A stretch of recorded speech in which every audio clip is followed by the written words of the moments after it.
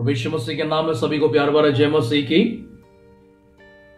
प्रभु आप सबको बहुत आज की आशीष दे। आमेन। हालेलुया।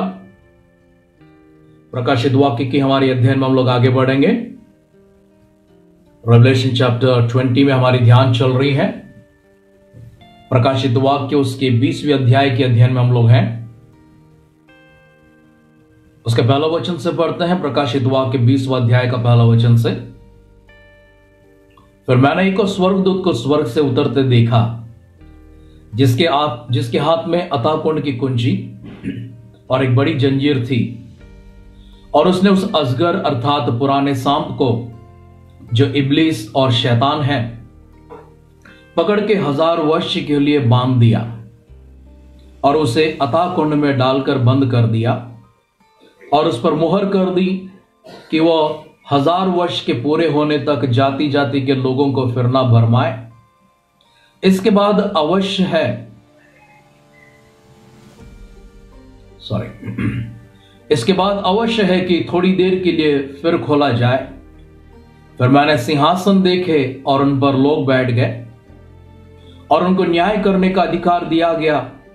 और उनकी आत्माओं को, और उनकी आत्माओं को भी देखा जिनके सिर यीशु की गवाही देने और परमेश्वर के वचन के कारण काटे गए थे। और जिन्होंने ना उस पशु की और ना उसकी मूर्त की, और ना उसकी मूर्त की पूजा की और ना उसकी छाप अपने माथे पर या हाथों पर ली थी, वे जीवित होकर मसीह के साथ हज़ार वर्ष तक राज्य करते रहे। और जब तक ये हज़ार वर्ष पूरे ना हुए, तब तक शेष मरे हुए न जी उठे। यह तो पहला पुनरुत्थान है। धन्य और पवित्र वह है जो इस पहले पुनरुत्थान का भागी है।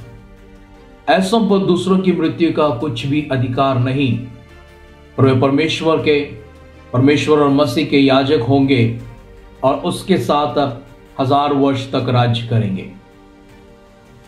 और जब हज़ार वर्ष पूरे हो चुकेंगे तो शैतान कैद से छोड़ दिया जाएगा। और उन जातियों को जो पृथ्वी के चारों ओर होंगी, अर्थात गोग और मागोग को जिनकी गिनती समुद्र की बालू के बराबर होगी, भरमा कर लड़ाई के लिए इकट्ठे करने को निकलेगा। और वे सारी पृथ्वी पर फैल जाएँगी। और पृथ्वी अपवित्र लोगों की छावनी और प्रिय नगर को घेर लेंगी और आग स्वर्ग से उतरकर उन्हें भस्म करेगी। और उनका भरमाने वाला शैतान आग और गंधक की उस झील में, जिसमें वो पशु और झूठा भविष्य वक्ता भी होगा, डाल दिया जाएगा। अब रात दिन युगानुग पीड़ा में तड़पते रहेंगे। तो मैंने एक बड़ा श्वेत सिंहासन और उसको जो उस पर बैठा हुआ है देखा, जिसके सामने से पृथ्वी और आकाश भाग गए और उनके लिए जगह न मिली तो मैंने छोटे बड़े सब मरे हुओं को सिंहासन के सामने खड़े हुए देखा। अब पुस्तकें खोली गई और फिर एक और पुस्तक खोली गई और फिर एक और पुस्तक खोली गई, अर्थात जीवन की पुस्तक। और जैसे उन पुस्तकों में लिखा हुआ था, उनके कामों के अनुसार मरे हुओं का न्याय किया गया। और समुद्र ने उन मरे हुओं को जो उसमें थे दे दिया, और मृत्यु और अधलोक ने उन मरे हुओं को जो उनमें थे दे दिया। और उनमें से हर एक के कामों के अनुसार उनका न्याय किया गया। और मृत्यु और अधलोक भी आग की झील में डाले गए। यह आग की झील तो दूसरी मृत्यु है। और जिस किसी का नाम जीवन की पुस्तक में लिखा हुआ ना मिला, वह आग की झील में डाला गया। हमने पिछले भागों में देखा था, पुराना सांप, लाल असगर, इबलीस शैतान या बेलजुबूब, ये सब नाम शैतान का है। ये सब नाम शैतान के हैं। और ये शैतान कब बना है? शैतान को परमेश्वर ने नहीं बनाया, परंतु शैतान बन गया है। परमेश्वर ने क्या बनाया था, उसे हमने यशा नबी की किताब चौदहवीं अध्याय से और यहेजकेल नबी की ग्रंथ अट्ठाईसवें अध्याय से गौर करके देखा है। परमेश्वर ने जब उन्हें बनाया था किरूब के रूप में बनाया था। करूब वो होते हैं जो परमेश्वर के पास सबसे महत्वपूर्ण स्थानों को प्राप्त किए हुए स्वर्गदूत होते हैं। परमेश्वर के स्वर्गदूतों में से एक स्वर्गदूत की तरह परमेश्वर ने इन्हें बनाया था। इस करोब को बनाया था। लेकिन यह करोब अपने ही आप में अहंकारी होकर, अपने ही आप में घमंडी होकर, अपने ही आप में पाप का उत्पादन करके वह अपने ही आप में पूरी तरह से खराब होकर, अपने ही साथ कई सारे लोगों को भी खराब करके परमेश्वर के विरोध में चल पड़ा। क्योंकि परमेश्वर के विरोध में चल पड़ा और क्योंकि वह दूसरों को खराब करने पर था, परमेश्वर ने उसे वहाँ से नीचे ज़मीन पर डाल दिया। ज़मीन पर डालने के बाद ज़मीन पर उसको जगह दी गई थी। एक बात गौर करके देखे कभी कभी आपको सवाल इस तरह से आता होगा, परमेश्वर ने फिर इतना बिगड़ा हुआ करूब को ज़मीन के ऊपर क्यों फेंक दिया जहाँ पर मनुष्य को बनाना था? जहाँ मनुष्य को बनाना था, वहाँ पर परमेश्वर ने इसे क्यों रखा है? इसे कहीं और डाल देना था, जैसे अता कुंड में हम लोग यहाँ पर देख रहे हैं। अता कुंड में जाने के लिए, अता कुंड में जाने के लिए इसे छियासठ ग्रंथों से होकर जाना पड़ा है। ये जो शैतान है, जो इबलिस है, जो बिगड़ चुका है, जो करूब था, उसे अताकुंड में पहुँचना है तो उसे छियासठ ग्रंथों से होकर जाना है। उदाहरण के लिए सोचते हैं, जब अपने टीनेज व्यवस्था में, अगर टीनेज अवस्था में, या मैं या कोई और भी बिगड़ गए हों तो उसी दिन अगर हमें भी निकाल कर अताकुंड में डाल दिए होते, घर से बाहर फेंक दिए होते, या फिर जेल में डाल दिए होते, कुछ कर दिए होते। इतनी यात्रा तो नहीं होती, और इस यात्रा के दौरान इतने परिवर्तन रद्द नहीं होते, और ये परिवर्तनों की गवाहियाँ भी नहीं सुनाई पड़ती थी। परमेश्वर ने हर एक व्यक्ति के लिए, हर एक वस्तु के लिए समय को तय किया है। समय को तय किया है। एक और विषय की ओर आपकी ध्यान को मैं लेकर जाना चाहता हूँ। जब मनुष्य ने पाप किया था, पाप करने के बाद परमेश्वर ने कहा, तेरे कारण से यह धरती अभी कांटे और जंगली झाड़ देने लगी है। यह धरती के कुछ नियम बदल चुकी हैं। इससे पहले पृथ्वी इस प्रकार से नहीं थी, परंतु यह कुछ जगहों पर जब जाते हैं, भयानक जगह है। घोर, क्या कहते वो विपत्तियों से भरा या फिर दुर्घटनाओं से भरा हुआ जगह है। हम धरती के ऊपर चलते तो हमें संभल संभल कर चलना पड़ता है। कभी समतल भूमि पर भी चलते हैं तो संभल कर चलना पड़ता है। कुछ जगहों पर हम लोग, क्या कहते हैं, आत्मविश्वास के साथ में, भरोसे के साथ में चल पड़ते हैं, लेकिन कुछ जगह ऐसे हैं जहाँ पर हम लोग कदम भी नहीं रख सकते हैं। कुछ जगह ऐसे हैं जहाँ पर इंसान पहुँच नहीं सकता है। ऐसा भयंकर जगह है। परमेश्वर ने तो ऐसा नहीं बनाया था उन्हें। लेकिन धरती बहुत बदल गई है। किसके कारण बदल गई है? मनुष्य के कारण बदल गई है। मनुष्य किसके कारण बदल गया, क्या कहता है? मनुष्य कहता है कि मैं तो सर्प के कारण बदल गया हूँ। अब एक एक जने के कहता है, लेकिन जो भी हो, इस धरती के ऊपर एक नियम बदल चुकी है। परमेश्वर ने अगर धरती को उसी दिन खत्म कर दिया होता, इतने हज़ार वर्षों की छियासठ ग्रंथों से फिर से धरती नहीं गुजरती। इतने ग्रंथ हम लोग इन सभी को गौर करते हैं, बहुत महत्वपूर्ण यात्रा है ये। जब परमेश्वर जानते थे कि शैतान जो है वो भरमाता है, खराब करता है, बिगाड़ता है तो आदम और हवा को उसी बगीचे के अंदर क्यों बनाया, जिस बगीचे में इसकी जगह पहले ही से बनी हुई थी? आदम हवा को बनाने के बाद में नहीं आया, वो तो पहले से आ चुका है। फिर से एक बार आप लोग यशा नबी की किताब चौदहवा अध्याय और उसके साथ में हेजकल का ग्रंथ अट्ठाईसवा अध्याय को पढ़कर देखिए। धरती को बनाने से पहले, धरती को बनाने से पहले उस करूब को बनाया गया था। और उस करूब को बनाने के बाद में परमेश्वर ने उसकी रचना में बड़ी सम्मान के साथ में स्वागत किया था। परमेश्वर उसे भी देखकर बहुत खुश हुए थे। हम देखते हैं, पहला दिन हो गया, उजियाल आ गया, दूसरा दिन हो गया हम ये आ गया, तीसरा दिन, चौथा दिन, पांचवा दिन अच्छा अच्छा अच्छा अच्छा। परमेश्वर खुश हो गए अपनी धरती को देखकर, अपनी सृष्टि को देखकर। उस करूब को भी देखकर परमेश्वर खुश हो चुके हैं। मनुष्य को भी देखने के बाद परमेश्वर बहुत ही खुश हो चुके हैं, इसलिए कहता है, बहुत अच्छा है। परमेश्वर की सृष्टि में हर एक चीज़ को, हर एक रचना को देखने के बाद परमेश्वर अपनी हस्तकलाओं से प्रसन्न हुए हैं, परमेश्वर उससे संतुष्ट हुए हैं, परमेश्वर उससे आनंदित और खुश हुए हैं। वो परमेश्वर जिन्होंने इन सभी को बनाया था, उस परमेश्वर ने हर एक चीज़ के लिए एक समय और एक सीमा भी रखा है। और इसकी सीमा क्या है हम लोग देखते हैं, इसकी समय भी क्या है देखेंगे हम लोग। जैसे इस करूप को बनाया गया था यह करूप परमेश्वर के साथ में स्वर्ग में रहने वाला था।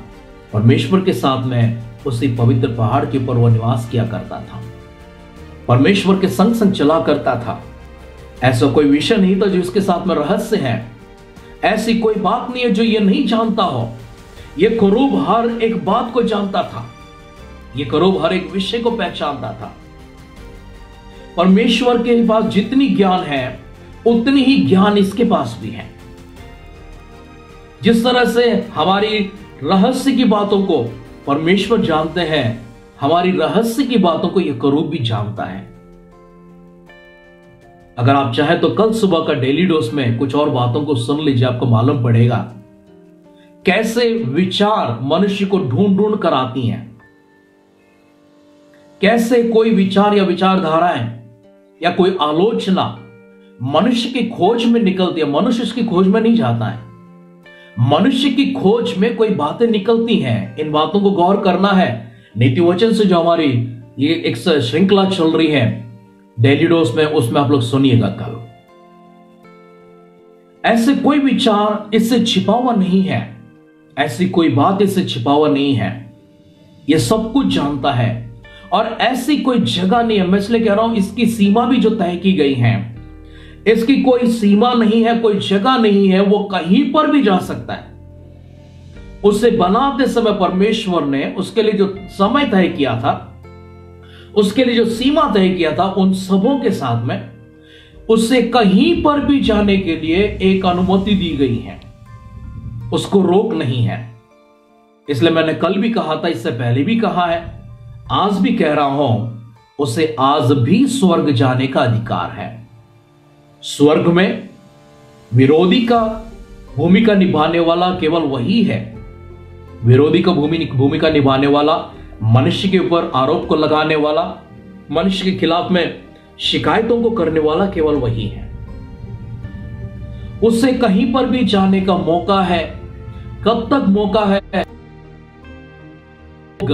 जब तक संत लोग एक हज़ार वर्षों के लिए धरती के ऊपर नहीं आएँगे।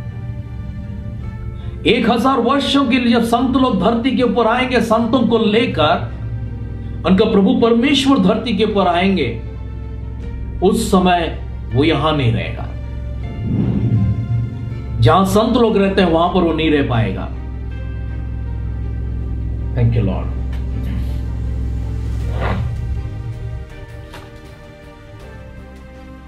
उसे एक हज़ार वर्षों के लिए बंदी बनाकर अता कुंड में डाल दिया जाएगा। मनुष्य को उसी अध्ययन की बगीचे में परमेश्वर ने बनाया है, इसलिए मैं कह रहा हूँ उसकी कोई, क्या कहते हैं, इस करूप की कोई सीमा नहीं है, कोई जगह सीमित नहीं है। हर जगह पर वो जा सकता है, कोई भी समय पर जा सकता है, किसी से भी वो बातें कर सकता है, किसी को भी बरमा सकता है, किसी को भी अपने वश में कर सकता है, उसके पास मौका है। लेकिन परमेश्वर क्या करते हैं? परमेश्वर ने अपनी ही जबानों से, अपने ही शब्दों से मनुष्य को सचेत किया है, चेतावनी दिया है। तुम्हारा जो रूप बना गया है, तुम्हारा जो स्वरूप बना गया है, तुम्हारी जो अस्तित्व बनाई गई है, यह अस्तित्व, यह स्वरूप अगर शब्दों को, शब्दों की ओर, किस तरह के शब्दों की ओर तुम कान लगाते हो, उस तरह से वो झुक जाएगा। अगर तुम अच्छे शब्दों की ओर कान लगाते हो, तुम्हारा ये जो अस्तित्व है, तुम्हारा ये जो जीवन है, वो अच्छाई की ओर झुकेगी। अगर तुम अपने कानों को बुरे शब्दों की ओर लगाते हो तो तुम बुराई की ओर झुक जाओगे। इसी बात को परमेश्वर ने समझाया था कि यहाँ पर एक पेड़ है, जिसका फल तुम खाओगे। निश्चय तुम्हें भले बुरी की ज्ञान मिल जाएगी, परंतु तुम मर जाओगे। परमेश्वर ने उनसे कहा, तुम झुक जाओगे, किस तरफ़? बुरी ज्ञान की ओर झुक जाओगे। तो कोई भी सोच, हमारी जीवन, हमारी अस्तित्व उसी पर खड़ी हुई है, जो हमारे कान सुनते हैं, हमारी आँखें जो देखती हैं। इसलिए प्रभु मसीह भी हमेशा कहते हैं, जिनके कान हो वो सुन लें। हमारा जीवन उससे बनता है, जो हमारे कान सुनते हैं। हमारा जीवन उससे बनता है, जो हमारी आँखें देखती हैं। कान हर एक चीज़ को चाहता है, आँखें भी हर एक चीज़ को चाहती हैं, लेकिन मनाने का काम मन का होता है। उस मन को स्थिर करना है, उस मन को मनाना होता है। यही परमेश्वर ने कहा, तुम्हारा जो रूप बनाया गया है, उस रूप में तुम्हारे कान और तुम्हारी आँखें किसी चीज़ की लालसा करेंगे, परंतु तुम्हारा मन तुम्हें मनाएगा और तुम्हें उसकी ओर झुकना है। परंतु क्या हो गया? बुरी बातों की ओर झुककर, परमेश्वर के विरोध में झुककर, परमेश्वर के खिलाफ में जाने के बाद मनुष्य बिगड़ चुका है, पापी हो चुका है, पाप में पड़ चुका है। इसलिए परमेश्वर ने उस समय कहा था क्योंकि तू क्योंकि तू आज पापी हो चुका है, पाप में बढ़ चुका है, तेरे भीतर पाप प्रवेश कर चुका है तो अध्ययन की बगीचा में नहीं रहेगा। जीवन का वृक्ष तेरे सामने से दूर हो जाएगा। गौर कीजिए यहाँ पर यह दूसरी बार हुआ है। पहली बार कहा हुआ है? पहली बार जीवन से, अनंत जीवन से यही करो जिसे हम शैतान के रूप में जानते हैं, वो स्वर्ग से उतारा गया है उसे गिराया गया है। इसका मतलब है कि परमेश्वर ने अनंत जीवन से उसे दूर कर दिया है। क्यों दूर कर दिया? क्योंकि उसने पाप किया है, उसने गलती किया, उसने अपराध किया है। और उसने क्षमा नहीं मांगा है। वो नीचे गिरा दिया गया। उसे जब नीचे गिरा दिया गया, उसके बाद में स्वर्ग सा एक और धरती के ऊपर जीवन को परमेश्वर ने बनाया, जिसे अदन के बगीचे के रूप हम लोग जानते हैं। परमेश्वर ने कहा, यहाँ पर मृत्यु नहीं है। जब तक तुम मृत्यु को मौका नहीं दोगे, तब तक मृत्यु प्रवेश नहीं कर सकता। फिर से सुन इन बातों को। जिस दिन तुम इस फल को खाओगे, मर जाओगे, का मतलब है जब तक तुम अपने मन को मनाकर तुम रोक सकते हो। जितने समय तक तुम इसे रोक पाते हो, उतने समय तक मृत्यु तुम्हारे पास नहीं आएगी। जिस दिन तुम झुक गए हो, उस दिन मृत्यु तुम्हारे भीतर प्रवेश करेगी पाप के परिणाम के रूप में, पाप के वेतन के रूप में। और मनुष्य ने वही काम किया, उसी काम का परिणाम था कि वह पाप में गिर गया है, पापी हो गया है। अभी वहीं पर वही करूप था जो शैतान बनकर वहाँ पर बैठा हुआ है। उससे जब स्वर्ग से नीचे फेंका गया गलती करने पर क्या परमेश्वर पक्षपात को दिखाकर मनुष्य को, आदम को, हवा को उसी बगीचे में रखेंगे, या फिर परमेश्वर निष्पक्षता को दिखाकर जिस तरह का सलूक करूप के साथ में किया था, उसी तरह का सजा मनुष्य को भी देता है। अगर परमेश्वर ने मनुष्य के प्रति इस प्रकार की सजा को नहीं दिखाया तो परमेश्वर पक्षपाती हो जाते हैं। वो परमेश्वर की जगह पर नहीं बैठ सकते हैं। इसलिए परमेश्वर ने मनुष्य को भी अध्ययन की बगीचे से बाहर निकाल दिया है। अध्ययन की बगीचे से बाहर जाते समय आदम और हवा ने कम से कम एक बार सॉरी नहीं बोला है। परमेश्वर को क्षमा नहीं मांगा है।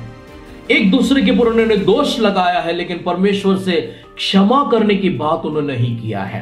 तो परमेश्वर ने उन्हें बाहर कर दिया। बाहर करने के बाद जब तक वो क्षमा प्राप्ति के लिए योग्य ना बने और जब तक क्षमा मांगने के लिए वो लोग अपने आप को तैयार ना करे, तब तक मैं उन्हें भीतर नहीं स्वीकारूँगा। इसलिए परमेश्वर ने और करूबों को लेकर आया, जिनके हाथ में जलती हुई मशालों के समान तलवारें दी गई हैं।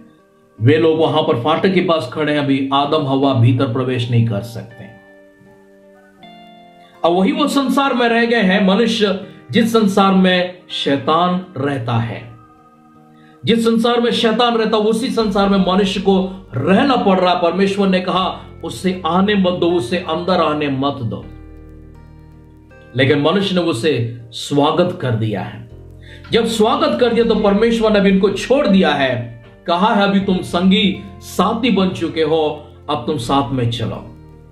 लेकिन परमेश्वर पूरी तरह से उन्हें ठुकरा नहीं दिए हैं, उन्हें मौका दिए हैं। वे जब भी पुकारते थे, परमेश्वर उनसे मिलने के लिए आते थे। परमेश्वर उनके संतान पुकारने के बाद, उनके संतानों को भी सुनकर आए हैं। उसके बाद अभी तक परमेश्वर पुकार सुनकर, ईश्वर ने कहा था, जब भी दो या तीन मुझे पुकारे, मैं आ जाऊँगा। आते परमेश्वर आते हैं। इतना सब कहने का अर्थ यह है, जो करूब एक समय पर परमेश्वर के स्वर्ग में, परमेश्वर के पवित्र पर्वत के ऊपर निवास किया करता था। वो जब बिगड़ गया है, पाप कर चुका है, पाप में पड़ गया है, वहाँ से उसे जब नीचे गिराया गया, नीचे से गिराने के बाद में उसे अभी भी जगह है, अभी भी समय है उसको। जिस तरह से मनुष्य हम लोग को परमेश्वर ने समय दिया है, वैसे उसको भी समय दिया है। और हर चीज़ समय के अनुसार होता है। कोई ऐसा चीज़ नहीं जो बिना समय में परमेश्वर कार्य को करते हैं। हम इन्हीं को देखा है अथा कुंड में डाले जाते हैं। कब डाले जाते हैं? जब संत लोग धरती के ऊपर आते हैं। संत लोग धरती के ऊपर आते हैं। इनका काम है भरमाने का काम। इस करूब का काम है भरमाने का काम। वो अपने आप में दुष्ट हो गया है, वो अपने आप में खराब हो चुका है, वो अपने आप में बिगड़ चुका है। जो स्थान को वो खो गया था, वो नहीं चाहता कि कोई और उस स्थान को प्राप्त करे। स्वर्ग का स्थान उसने खो लिया था, इसलिए वो चाहता है कि हम जो स्वर्ग के स्वर्ग के योग्य जिसे परमेश्वर ने हमें बनाया है, हमें भी स्वर्ग जाने से रोके। इसी एक काम में वो बैठा हुआ है। अगर मेरा ना हुआ तो मैं तेरा भी नहीं होने दूँगा। एक ही उद्देश्य उसका है। इसलिए मनुष्यों को स्वर्ग जाने से रोकता है। फिर भी परमेश्वर ने अधीन की बगीचे से इन्हें बाहर करते समय कहा तो मान ले परिष्कार को मैं भेजूँगा। परिष्कार ईशु मसीह के रूप में 2000 साल पहले यहाँ पर आए हैं। और ईशु मसीह आने के बाद सभी लोगों को जिस तरह से अधेन की बगीचे में परमेश्वर ने आदम हवा को सचेत किया था, वैसे हमें भी सचेत करते हैं। यीशु मसीह की वाणी है, यीशु मसीह की शिक्षा है, उनका उपदेश है। कि हम बुराई से मुँह फेर ले और परमेश्वर की राह पर चले, परमेश्वर की आज्ञाओं में चले, पवित्रता की ओर चले, पवित्र राह पर खड़े हो जाए, ताकि हम परमेश्वर के स्वर्ग के काबिल बन जाए। हमें काबिल बनना है, स्वर्ग के योग्य बनना है हमें। जब तक हम काबिल नहीं बनेंगे, तब तक हमें नहीं लेकर जाएँगे। अगर ऐसा होता, आदम और हवा खड़े होकर कहते, परमेश्वर, ऐसी कौन सी काबिलियत इनके अंदर है कि आपने इनको स्वर्ग में जाने का प्रवेश दिया है? परमेश्वर निष्पक्षपात है। निष्पक्षी है। परमेश्वर को कोई पक्षपात नहीं है। परमेश्वर एक पक्ष रखने वाला नहीं है। इसलिए परमेश्वर ने किसी के साथ भी, किसी के साथ भी पक्षपाती का कभी कोई फैसला नहीं सुना है। हम देखते हैं यहाँ पर, उसके बाद में बाकी सारे कब्र खोले जाते हैं। पहले पुनरुत्थान के बाद में जितने भी लोग उन सारे कब्रों को खोला जाता है। और वे सब भी आपका परमेश्वर के सियासत के सामने खड़े होंगे। हर एक व्यक्ति को परमेश्वर मौका देंगे वहाँ पर अपनी अपनी सफ़ाई देने का। लेकिन धन्य वे लोग जो लोग पहली पुनरुत्थान में प्रवेश कर चुके हैं। ईश्व मसीह बहुत जल्द बादलों के ऊपर आएँगे। बादलों के ऊपर आने के बाद ईश्व मसीह अपनी कलीसियों को अपने साथ में लेकर जाएँगे। सात वर्षों की हमारी संगति कलीसिया की प्रभु के साथ में बादलों के ऊपर होगी। एक उत्सव जैसा, एक बड़ी सी जेवलार में हम लोग रहेंगे। मेमने के विवाह, और मेमने के विवाह की जो बोझ है उसमें सभी लोग शामिल होंगे। उसके बाद परमेश्वर फिर से एक बार हम सबको धरती के ऊपर भेजेंगे। सॉरी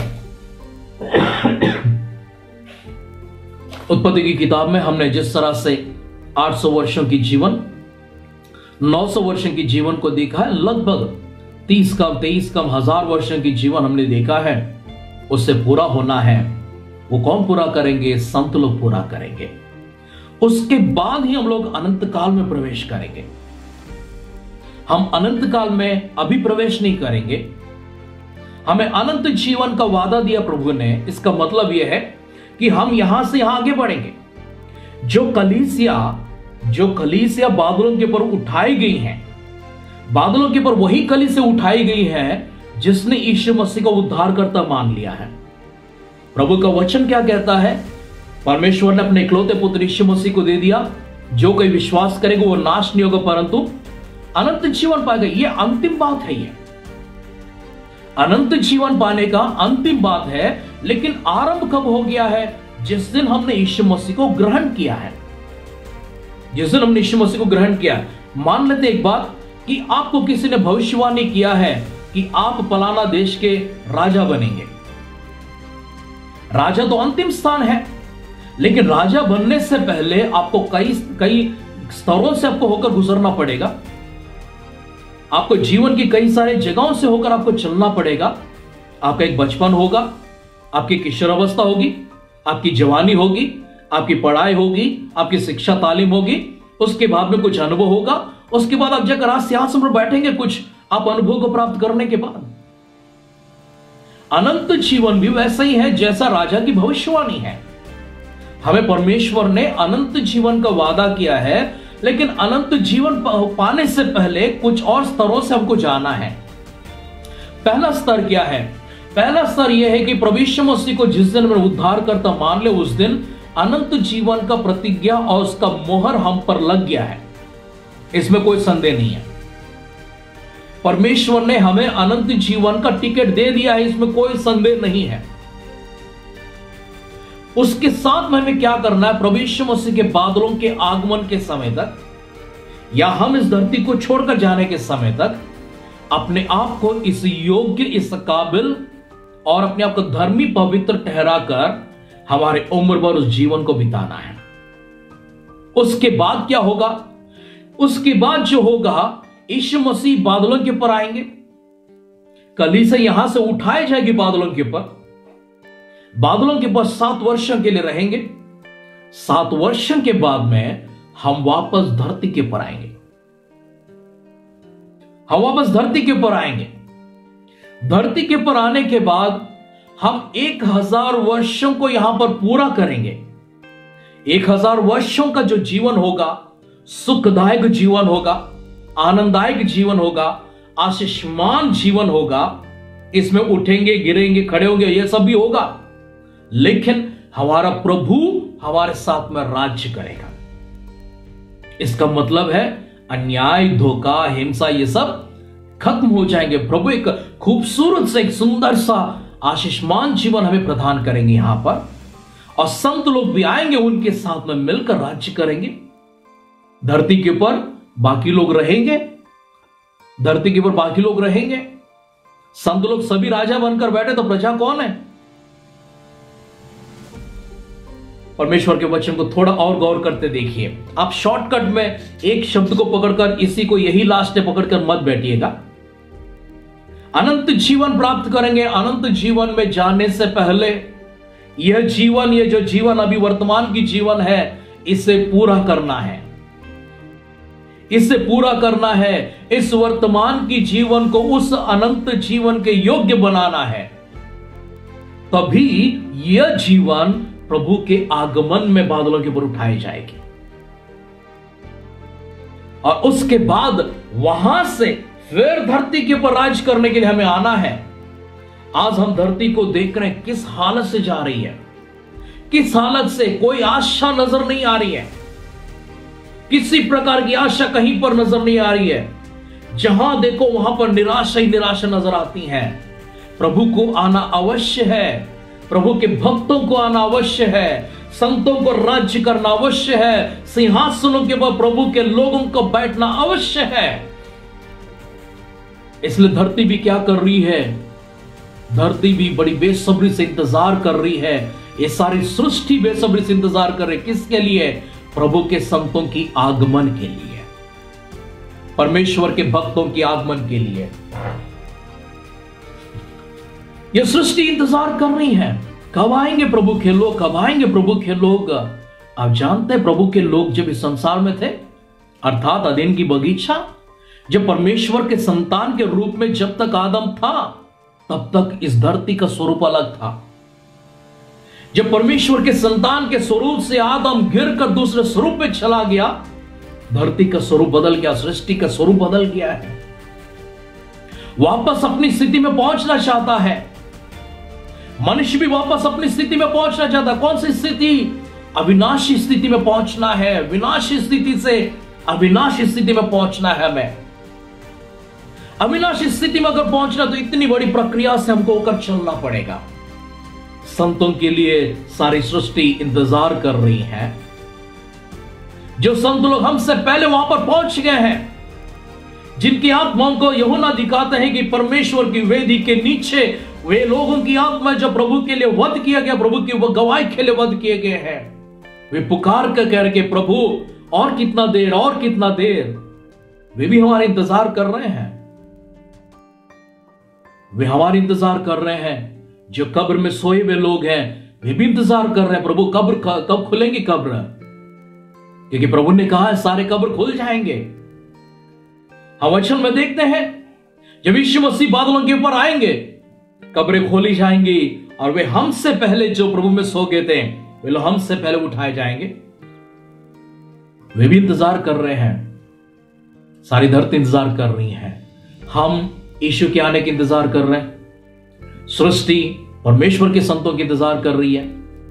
जो स्वर्ग में अभी जाकर बैठे हुए हैं, परमेश्वर के वेदी के सामने जो आत्माएँ हैं, वे हमारी इंतज़ार कर रही हैं और ये सारी सृष्टि हम सब की फिर से अंतिम इंतज़ार करेगी।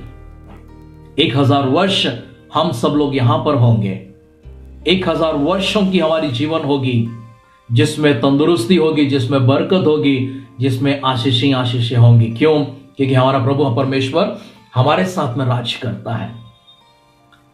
यीशु मसीह के सलीब के जाने से पहले, यीशु सलीब के ऊपर जाने से पहले चेलों ने पूछा था, प्रभु, राज कब करेंगे आकर? कब करेंगे आप? कहा है? आ जाएँगे? लेकिन इस समय प्रभु पिता परमेश्वर ने अपने अधीन में रखा, बाकी सबको होना अवश्य है। एक हज़ार वर्ष सुनहरे वर्षों का, एक सुनहरी जीवन हम यहाँ पर देखने जा रहे हैं। बहुत खूबसूरत सा ज़िंदगी हम लोग यहाँ पर देखने जा रहे हैं। हर मनुष्य हंसता हुआ दिखाई पड़ेगा। आज हर मनुष्य डर में बैठा हुआ है। आज हर मनुष्य घबराहट में बैठा हुआ है। आज जहाँ देखो वहाँ पर, जिसके चेहरे पर देखो, उसके चेहरे पर उदासी, भय छाया हुआ है। परमेश्वर ने मनुष्य को ऐसा नहीं बनाया था।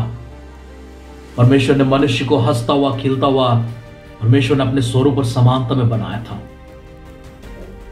ये दुख मिट जाना है, ये संकट हट जाना है, ये क्लेश मुसीबतें हट जाना है, ये सारी विपत्तियाँ दूर होना है, मृत्यु को हटना है। परमेश्वर के वचनों में देखते हैं, कल बाकी चीज़ों को मैं ध्यान कराऊँगा। समुद्र ने अपने लोगों को दे दिया। तेरा वचन समुद्र ने उन मरेवों को जो उनमें दे दिया। मृत्यु ने दे दिया, अधलोक ने भी दे दिया, किसको दे दिया, जो मरे हुए थे उनको रिटर्न कर दिया। मृतकों की पुनरुत्थान का मतलब है इनको रिटर्न करना पड़ेगा। जितने लोगों ने जिस जिस रीति से मृत्यु के रूप में आकर इनको लिया है, उन सभी को वापस करना पड़ेगा। वापस करने के बाद क्या हो रहा है? इन सबको ले जाकर अतकुंड में डाल रहे हैं। इन सबको ले जाकर अतकुंड में, चौदह अध्याय, चौदह वचन देखते हैं। मृत्यु और अधलोक भी आग के झील में डाले गए उनको भी आग के झील में डाल दिया। कौन कौन चले गए यहाँ पर? एक वो पुराना शैतान, एक पुराना अजगर पुराना सांप, इबलिस, शैतान, जिन्हें वास्तव में परमेश्वर ने करूप बनाया था, स्वर्गदूत के रूप में बनाया था। परमेश्वर किसी का पक्षपात नहीं करते हैं, चाहे वो कितना भी कीमती क्यों ना हो। हम सबसे कीमती, हम सबसे कीमती था। ये खरूब जिसको परमेश्वर कल अतः कुंड में डालने जा रहे हैं। इस सृष्टि के अंदर अगर सबसे कोई मूल्यवान था वो, तब, अब और आगे भी, वो एक ही करूब है जो शैतान के रूप में बदल चुका है। परमेश्वर कितने भी मूल्यवान क्यों ना हो, अगर उनके वचन के आधार पर नहीं चलेंगे उनके साथ पक्षपात नहीं करेंगे। उन्हें बचाने के लिए उनको ही नहीं, सबसे छोटे से छोटे, इसलिए वचन में सुनते हैं, छोटे से छोटे को भी परमेश्वर बचाने के लिए आते हैं। वास्तव में परमेश्वर के सामने कोई छोटा, कोई बड़ा नहीं है, परंतु छोटे से छोटे भी जिन्हें हम लोग मानते हैं, उनके लिए भी प्रभु उद्धार का मार्ग को खोले हैं। इसका भी सामने उद्धार का मार्ग है। झुकता नहीं है किसी के सामने। अहंकारी, घमंडी किसी के सामने झुकता नहीं है। अगर वो झुक गया, उसका उद्धार हो गया है। आज कितने ही लोग अपने अहंकार में उद्धार को ठुकरा कर जाते हैं। कितने ही लोग हैं, प्रभु को मानते, प्रभु को जानते, लेकिन उनको मानते नहीं हैं। क्योंकि अहंकार रोक देती हैं, घमंड रोक देती हैं, संसार की लालसाएँ अभिलाषा रोक देती हैं। परमेश्वर के संत गणों के लिए सारी सृष्टि इंतज़ार कर रही है और हम प्रभु मसीह के बादलों के आगमन के लिए इंतज़ार कर रहे हैं।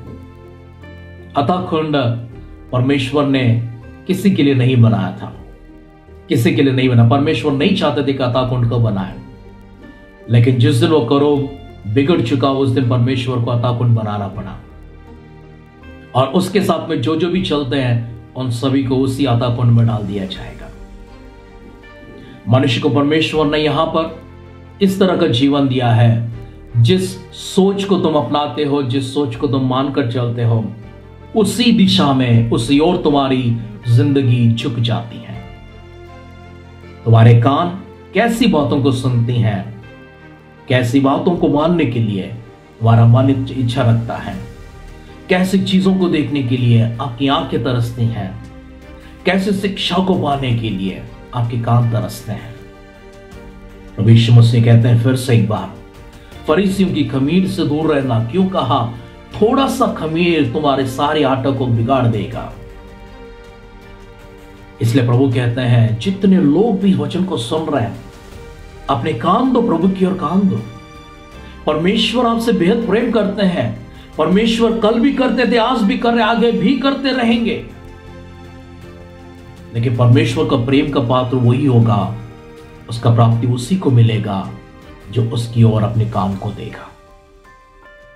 जो उसकी ओर अपने मन को देगा, जो अपना जीवन उसकी ओर झुकाने के लिए इच्छा को रखता है, उसी को परमेश्वर अपना प्रेम का पात्र बनाएँगे।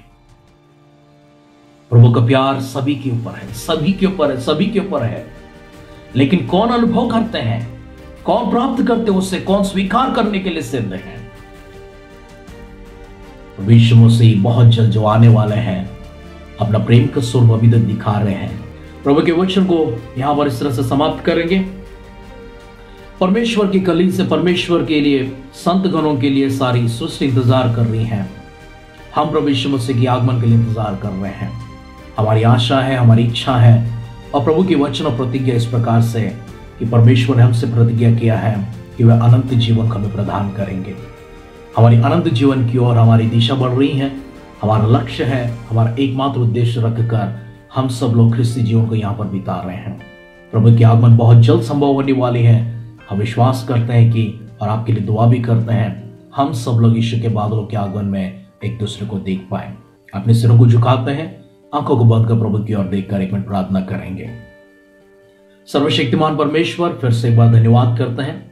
स्तुति प्रशंसा महिमा, गौरव, आदर के साथ में आपके शरण में आते हैं। देव अद्भुत समय के लिए धन्यवाद। आपके प्रभु जी महिमा में हमें चला, इसके लिए धन्यवाद। आशीषमान वचनों से प्रभु आपने हमसे बातें की हैं। एक और बात शुक्रिया अदा करते हैं। आपकी आदर, सम्मान, महिमा, गौरव करते हुए अपने आप को दीन और नम्र करते हैं। आपके पुत्र के आगमन के लिए हमें सिद्ध कर दीजिए। स्वर्गराज के योग्य प्रभु एक जीवन हम लोग बिता सके। ऐसे काबिल प्रभु हमारे भीतर प्रदान करें और हम में से परमेश्वर कोई भी इस संसार में छुड़ाया ना जाए, परंतु प्रभु जी आपके साथ में उस राज्य में प्रवेश करने का भाग्य हर किसी को प्रदान करने के लिए दुआ करते हैं।